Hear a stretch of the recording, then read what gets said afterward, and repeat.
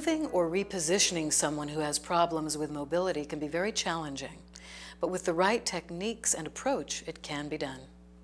All you need is a little education and using gravity and leverage to your advantage.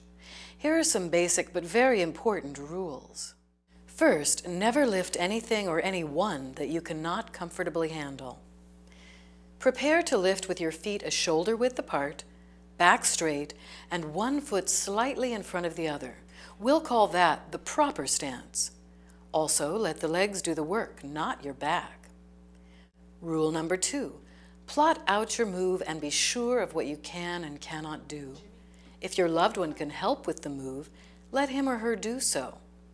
Also, make sure that your loved one's socks or footwear do not have slippery soles. Rule number three, make sure you don't have to move someone too far from where you're starting. Bring a chair or wheelchair close to the bed, for example, lock the brakes, and keep foot and arm rests out of the way. Always let your loved one know what it is you're planning to do. Be gentle but direct. Before you lift, get as close as you can to your loved one and avoid having his or her arms around your neck. You could both fall that way. Remember to keep the proper stance, back straight, knees slightly bent, and weight balanced evenly.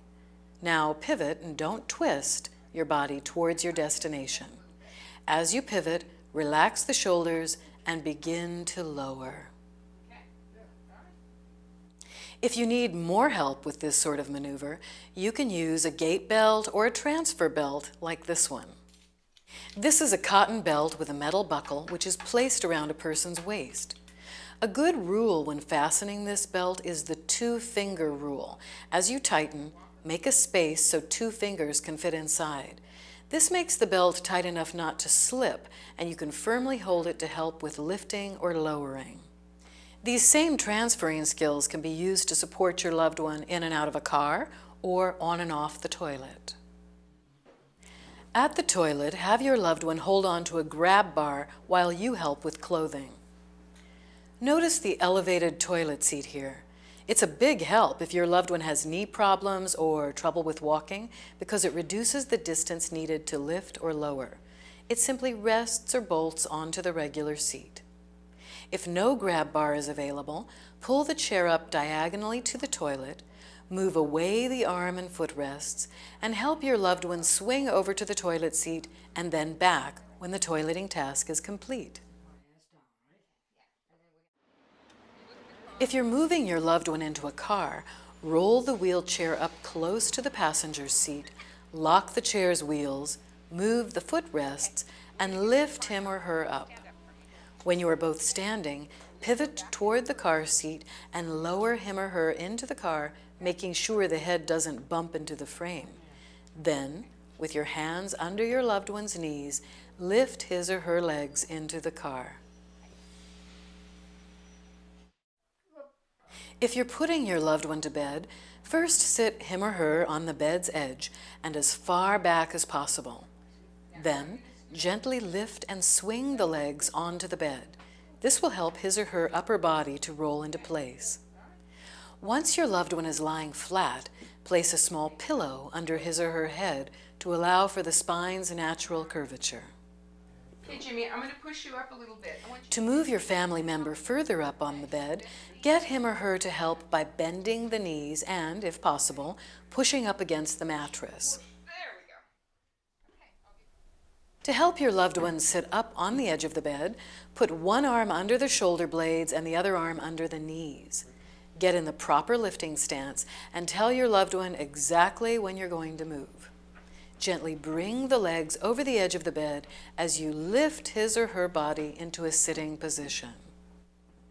What we've been showing you here is how to move or position your family member safely, but accidents do happen, and despite all our good intentions and efforts, your loved one may fall.